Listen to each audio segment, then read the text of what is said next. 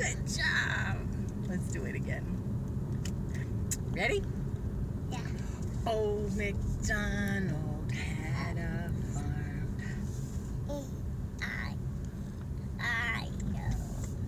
And on his farm he had a sheep. Oh my God.